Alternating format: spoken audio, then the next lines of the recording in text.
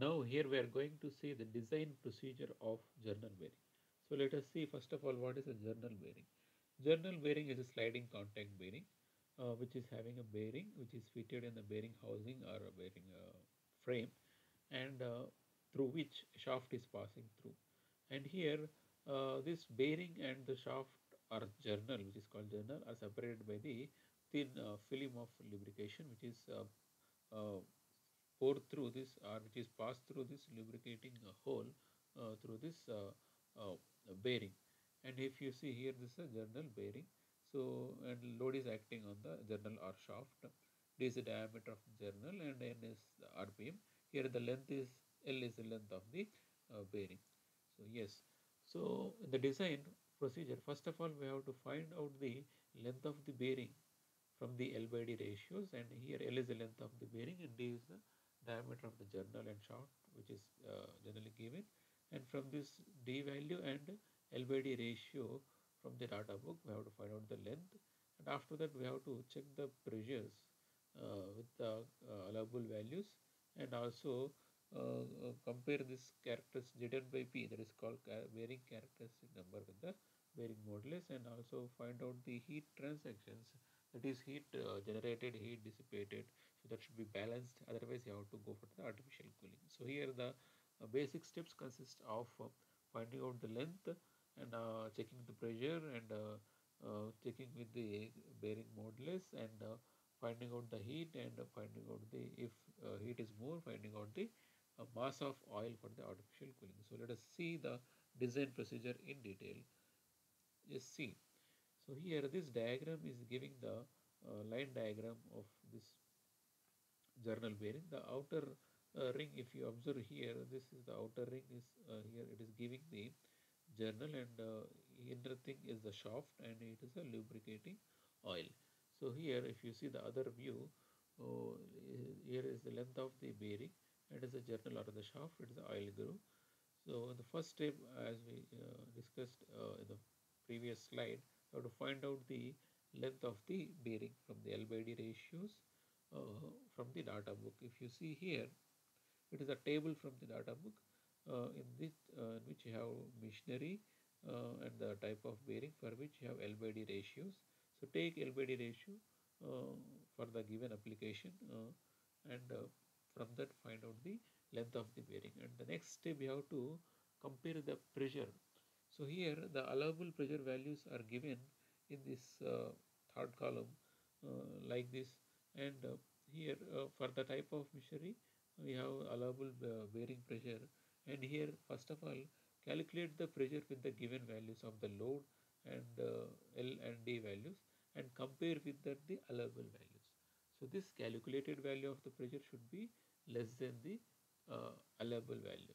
Uh, in the next step, uh, go otherwise you have to increase the dimensions such that the pressure should be within the limits.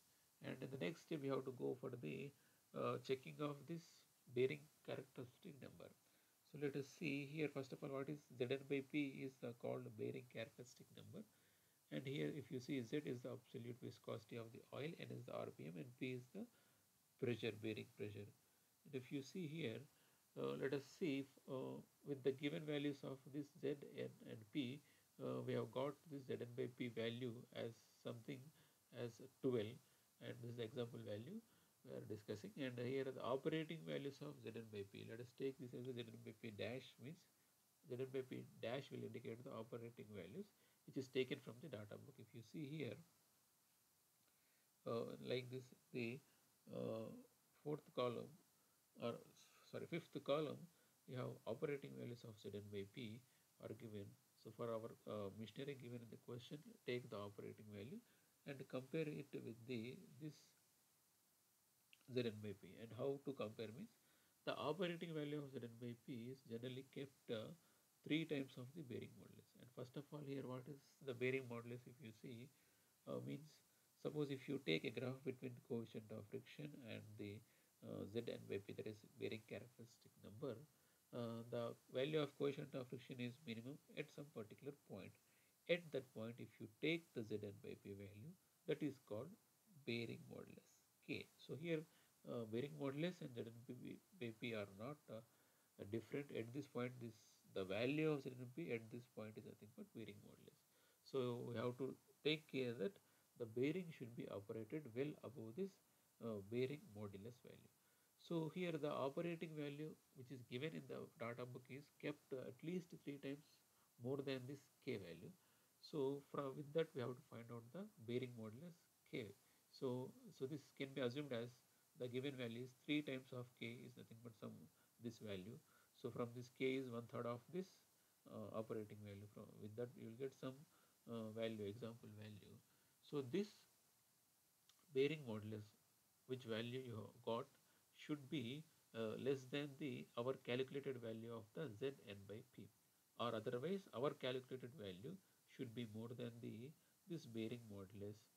So such that uh, it, it, it is always in the uh, full lubrication condition there is no metal to metal contact. So uh, that you have to uh, check.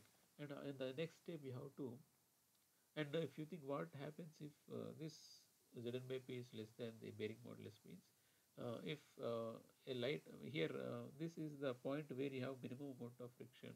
And also if there is a little bit decrease in the shaft speed or increase in the load. So there is the possibility of metal to metal contact. So you should avoid that.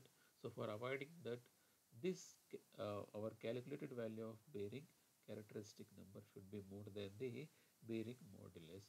And in the next step if you see how to find out c by d ratio you have to take uh, the c by d ratios from the uh, data book. Here if you see this this column you have c by d ratios. Take that uh, for different kinds of machinery uh, different values you have.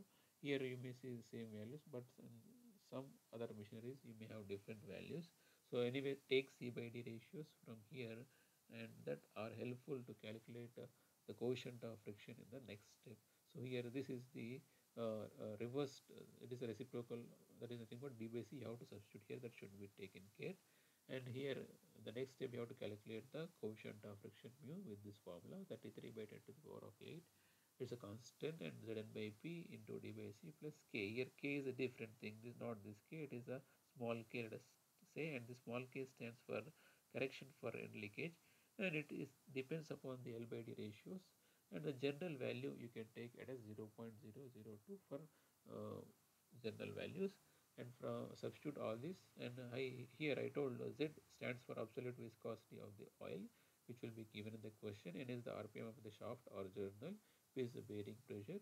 Uh, here P have to or this Zn by P have to substitute the calculated value, not the operating value that you should take care. And uh, C is the diameter clearance, and uh, uh, uh, the value which is shown in the diagram is the radial clearance. Actually, don't confuse here. Uh, what C it, it, should be C dash. Let us uh, assume like that. So here C stands for the diameter clearance and uh, T is the diameter of the journal and substitute all these values find out the coefficient of friction and the next step find out the heat generated with this formula qd is equals to mu into w into v mu is the coefficient of friction which you have find out in the previous step w is the load acting on the journal it is taken in the newtons and v is the peripheral velocity or rubbing velocity of the journal uh, that is given by pi d n by 60 where d is the diameter of the journal you to substitute d in the meters to get this in meters per second and to get this uh, get this heat generated in the watts. In the next step, we have to calculate heat dissipated. Heat dissipated is given by the formula C into A into half T naught minus T. So C here it is C let us say it is a capital C, uh, which is heat dissipation coefficient uh, taken watt taken in watts per meter square, square per degree centigrade. And this C will depends upon the bearing uh, materials and other conditions and other the conditions are uh, ventilation conditions means how this air is flowing through the bearing suppose if it is unventilated that is the still air this c capital c value that is heat dissipation coefficient can be taken in between 140 to 420 the general values. And these values of c is generally mentioned in the question. Otherwise you have to take uh, with this range or the given condition unventilated or ventilated. So suppose for well ventilated bearing it is in between 490 to 1400 watt per meter square per degree centigrade. So depending upon the given uh, condition, you have to select a middle values from this and you have to substitute here. And A is the projected area of the bearing that is L into D as discussed earlier but substitute it is in the meter square. And here T naught is the operating temperature of the oil which is given in the question. And uh, TA is the ambient temperature which is also given in the question. Substitute these values and calculate heat dissipated. And here compare uh, the heat generated and heat dissipated. Both should be at least both generated and dissipated should be equal. Otherwise if the generated is more than the dissipated so this will be overheating of the bearing happens which is not required. So if the generated is more than dissipated so in that case you have to cool this extra amount of heat by the artificial cooling uh, is required. This is uh, done. The the next step if you see the amount of lubricating oil required for the artificial cooling or the mass of the lubricating oil required for artificial cooling is given by the formula Q is equals to ms delta T. Here m is the mass of the lubricating oil required for the artificial cooling. And uh, he Q is the heat to be removed by artificial cooling that is given by Qg generated minus dissipated difference. And here S is the capital S is the specific heat of the oil taken in joules per kg per degree centigrade. And uh, this S values are also given in the question. Otherwise if it is not given in the question take a middle value like any value with this range. It is general values uh, it, depends upon uh, especially the type of oil which is given. Not given just take any uh, value with this range. It is general uh, uh, generally used oils uh, specific heat. And also here it should be delta T. So delta T is the temperature difference between the oil inlet and outlet temperature of oil which you are pumping for the artificial cooling. Substitute all these values, find out the mass of the lubricating oil.